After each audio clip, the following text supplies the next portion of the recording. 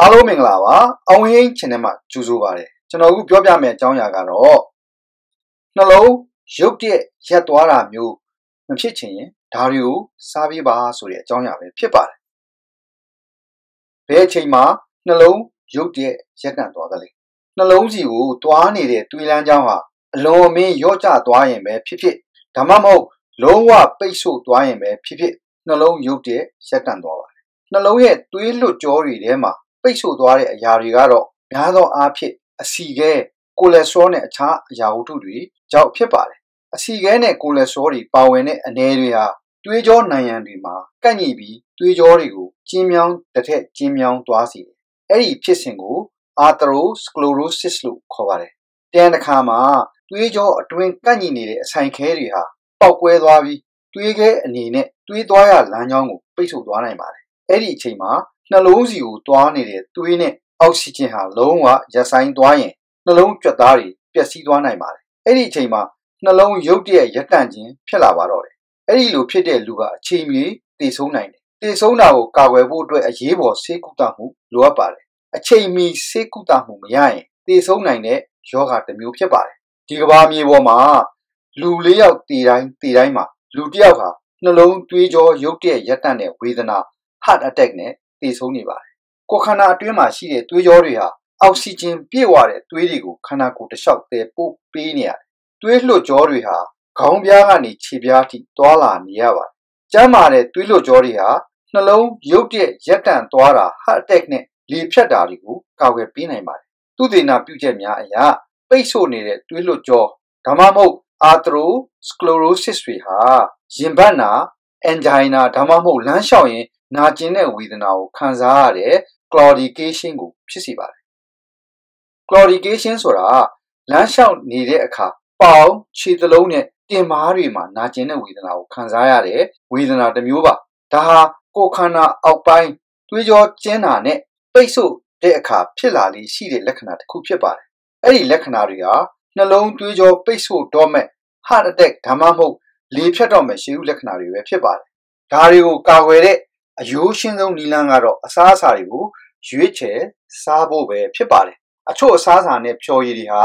တင့်ရဲ့တွေးလွတ်ကြောတွေကိုကျန်းမာအောင်လုပ်ပေးနိုင်ပါတယ်တွေးလွတ်ကြောအတွင်းအစီခဲတွေကြောင့်နှလုံးရုပ်တရက်ရက်သွားတာမျိုးမဖြစ်ချင်ရင်ဒါတွေကိုစားပေးပါအဲ့ဒီအစားအစာတွေကဘာတွေလဲနံပါတ်1အစီများတဲ့ငါ fatty fish အစီများတဲ့ငါးအုပ်စုထဲမှာပါဝင်တဲ့ငါးတွေကတော့ salmon ငါး herring ငါး trout ငါး mackerel ငါး tuna ငါးတို့ဖြစ်ကြပါတယ်။အဲ့ဒီငါးတွေမှာအဓိကပါဝင်တဲ့ဓာတ်ပေါင်းတွေကတော့ omega 3 fatty acid ဖြစ်ပါတယ်။အဲ့ဒီ omega 3 fatty acid တွေဟာသွေးရင်းကောင်းတဲ့ကိုလက်စထရောကိုပိုတိုးစေတယ်။အဲ့ဒီကိုလက်စထရောတွေကသွေးကြောအတွင်းမကောင်းတဲ့သွေးခဲအဆီခဲတွေကိုဖယ်ရှားပေးနိုင်ပါတယ်။အမေရိကန်သုတေသနအဖွဲ့ကမိမတွေကိုလေ့လာခဲ့ပါတယ်။တပတ်နှစ်ကြိမ်နဲ့အထက်အစီများတဲ့ငါးတွေစားတဲ့သူတွေဟာ နှလုံးကျန်းမာရေးပိုကောင်းလာတာကိုတွေ့ရှိရပါတယ်။နံပါတ်1စနွင်းမုတ် turmeric powder ဒါကတော့မြန်မာလူမျိုးနဲ့တော်တော်နီးစပ်တဲ့အစားအစာတစ်ခုဖြစ်ပါတယ်။အိမ်တိုင်းလိုလိုမှာရှိတတ်ကြတယ်။မိဖို့ကြောင့်သုံးအဓိကပစ္စည်းတစ်ခုလို့တော့ပြောရမယ်ထင်ပါတယ်။ကျွန်တော်တို့ငယ်တုန်းကဝါဝါထိန်ထိန်ဟင်းတိုင်းလိုလိုမှာစနွင်းမှုတ်တွေပါလာတတ်ပါတယ်။ကျမရဲ့တန်မိုးမတီတော့ကတော့စနွင်းမုတ်များတဲ့ဟင်းဆိုရင်မကြိုက်ခဲ့ဘူးအခုတော့တကူးတကစားနေရပြီ စနွင်းမုတ်ကသွေးလွတ်ကြောနဲ့နှလုံးကျန်းမာရေးအတွက်အစားအသင့်ဆုံးအစားအစာတစ်ခုလို့ပညာရှင်တွေကပြောပါတယ်ဒါကိုသူတည်နာပေါင်း200ကျော်ကရတဲ့ရက်လက်တွေဖြစ်ပါတယ်စနွင်းမုတ်မှာပါဝင်တဲ့ကာကူမင်ကနှလုံးယောဂမျိုးစုံကိုကောင်းစေတယ်ဒါအပြင်ဇီဝကံမှာဖြစ်စဉ်မျိုးစုံကိုလည်းကောင်းစေတယ်နှလုံးကျန်းမာစေနိုင်တဲ့အတွက်နှလုံးယောဂမျိုးစုံကိုကာကွယ်ပေးနိုင်ပါတယ်နံပါတ်3ရင်နွေးချမ်း green tea ရင်နွေးချမ်းနဲ့နှလုံးသွေးကြောဆိုင်ရာယောဂါတွေနဲ့ပတ်သက်တဲ့သုတေသနပြုချက်အများကြီးလုပ်ခဲ့ကြပါတယ်။အဲ့ဒီထဲမှာဂျပန်နိုင်ငံမှာပြုလုပ်တဲ့သုတေသနပြုချက်တစ်ခုမှာလူပေါင်း4530ယောက်ကိုစမ်းသပ်ခဲ့ပါတယ်။တနေ့ကိုရင်နွေးချမ်း9ခွက်နဲ့အထက်တောက်သူတွေဟာနှလုံးရုပ်တရက်ရက်သွားခြင်းနဲ့လေဖြတ်ခြင်းတွေကနေ26ရာခိုင်နှုန်းအထိရှော့ချနိုင်တာကိုတွေ့ရှိရပါတယ်။ယောဂမျိုးစုံနဲ့တည်ဆိုးခြင်းကိုလည်း16ရာခိုင်နှုန်းထိရော့ကျသွားတာကိုတွေ့ရှိရပါတယ်။ ဒီနေ့ကိုရင်းနှီးချမ်းတစ်ခွက်နဲ့အောက်တောက်သူတွေနဲ့နှိုင်းယှဉ်လေ့လာခြင်းဖြစ်ပါတယ်။နံပါတ်၄ citrus အသီး citrus fruits citrus အသီးအုပ်စုထဲမှာပါဝင်တဲ့အသီးတွေကတော့လိမ္မော်သီး grapefruit တာမယိုသီး lemon တာမယာသီး limes တို့ဖြစ်ကြပါတယ်ဒီအုပ်စုမှာပါဝင်တဲ့အသီးတွေဟာသွေးပေါင်ချိန်ကိုကျစေတယ်အထူးသဖြင့် systolic blood pressure ကိုကျစေပါတယ် 18ရာစုနောက်ပိုင်းမှာ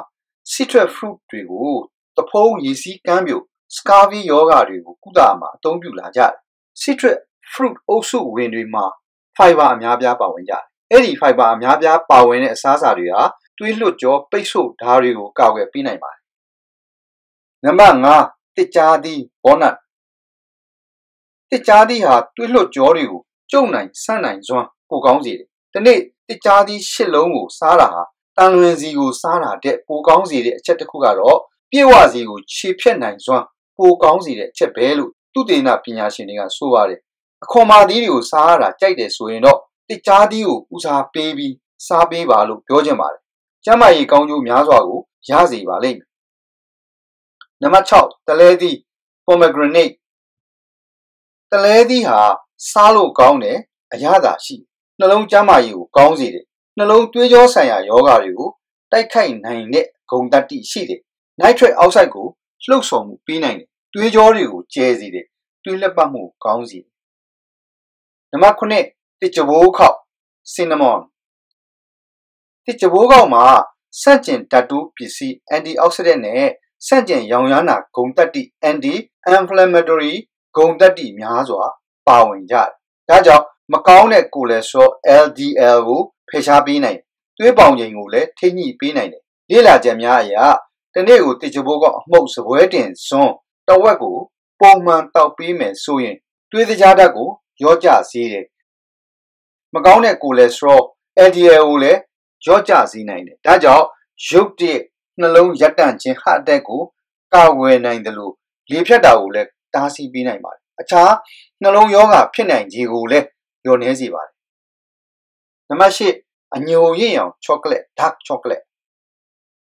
အညိုရင့်ရောင် chocolate ဟာကိုကို80ရာခိုင်နှုန်းနဲ့ထည့်ရှိတဲ့ chocolate ကိုပြောတာပါအညိုရင့်ရောင် chocolate ဟာစားလို့လည်းကောင်းစေတယ်နှလုံးကျန်းမာရေးကိုလည်းကောင်းစေတယ်အညိုရင့်ရောင် chocolate မှာ polyphenol များစွာပါဝင်တယ်အဲ့ဒီဓာတ်ပေါင်းကြောင့်သွေးပေါင်ခြင်းကိုကျစေတယ်သွေးလက်ပတ်မှုကိုပိုကောင်းစေတယ်ရောင်ရမ်းတာတွေကိုရောကြပေးနိုင်တယ်။သွေးခဲတွေမဖြစ်အောင်တားဆီးပေးနိုင်တယ်။ ညိုးရောင်ချောကလက်မှာ flavonoid များစွာပါဝင်တယ်။အဲ့ဒီဓာတ်ပေါင်းဟာနှလုံးရောဂါမဖြစ်အောင်ကာကွယ်ပေးနိုင်တယ်။ချောကလက်ကိုပုံမှန်စားပေးရင်နှလုံးရုပ်တရက်ရပ်တန့်ခြင်း heart attack နဲ့လေဖြတ်ခြင်း stroke ကိုကာကွယ်ပေးနိုင်တဲ့အပြင်ကင်ဆာယောဂါကိုလည်းကာကွယ်နိုင်ကြောင်းသုတေသနပြုချက်များအရသိရပါတယ်။နံပါတ်9 flaxseed flaxseed ဟိုတုန်းက flexi ကိုမကြိုက်လို့မစားခဲ့ဘူးဆိုရင်လဲ အခုချိန်ကစပြီးစားတဲ့တယ်လို့ပြောချင်ပါတယ် flexi ဟာကျန်းမာရေးကောင်းကျိုးများစွာရှိပါတယ်တခုကတော့တင့်ရဲ့သွေးလွှတ်ကြောတွေကိုကျန်းမာစေတဲ့အချက်ဖြစ်ပါတယ် flexi ကနှလုံးသွေးကြောဆိုင်ရာယောဂတွေကိုအဓိကထားပြီးကာကွယ်ပေးတာကိုတွေ့ရှိရပါတယ် flexi မှာ omega 3 fatty acid ပါတဲ့အပြင် fiber နဲ့ phytoestrogen လည်းများစွာပါဝင်ပါတယ်အဲ့ဒီဓာတ်ပေါင်းတွေကနှလုံးကျန်းမာရေးကိုထူးကောင်းမွန်စေပါတယ်။အမေရိကန်ကျန်းမာရေးအဖွဲ့အစည်းက နှလုံးကျန်းမာရေးကောင်းမှုအတွက် fiber နဲ့ omega 3 fatty acid တွေကိုများများစားပေးဖို့လိုပါတယ်လို့အကြံပြုထားပါတယ်။အစအဆုံးကြည့်ရှုအားပေးအတွက်ကျေးဇူးတင်ပါတယ်။နောက်နောက်လောလောကူကြည့်ရှုနိုင်ဖို့အတွက် subscribe ကိုတစ်ချိန်နှိပ်ပေးထားပါလို့မေတ္တာရက်ခံပါတယ်။ like နဲ့ share ကိုလည်းနှိပ်ပေးစီခြင်းပါတယ်။လူသားအားလုံးလွတ်လပ်ပျော်ရွှင်တဲ့ဘဝတွေကိုပိုင်ဆိုင်ကြပါစေလို့ဆုတောင်းလိုက်ပါတယ်။အားလုံးကိုကျေးဇူးတင်ပါတယ် Have a nice day